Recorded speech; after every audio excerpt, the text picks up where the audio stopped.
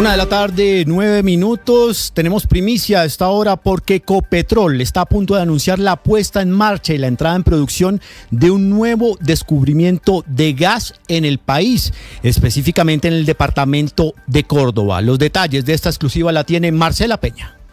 Pues mire, Juan Camilo, estamos hablando de Arrecife, ubicado en el municipio de Puerto Nuevo, en el departamento de Córdoba, un, un proyecto que está liderado por Jocol, una de las filiales de Ecopetrol.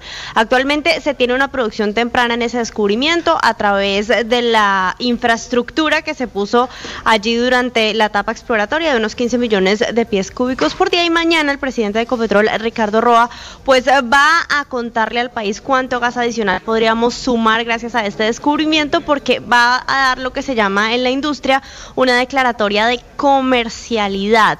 Es decir, va a decirnos que ese gas no solo está en las cantidades suficientes, sino que además sacarlo de ahí resulta rentable para la compañía. Esto no sucedió de la noche a la mañana. Arrecife es un descubrimiento que anunció Jocol en el año 2019 y en el año 2021 logró finalmente delimitarlo. Sin embargo, la expectativa sobre el discurso que dará mañana aquí en el Congreso de Naturgas en Cartagena el presidente de Ecopetrol, Ricardo Roa, está en máximos niveles porque se espera un segundo anuncio. El segundo anuncio está relacionado con un nuevo hallazgo de gas en el país, así que todos estaremos muy atentos a las noticias en materia de desarrollo de petróleo y gas. Atenta Marcela, pero entonces ya les anticipamos.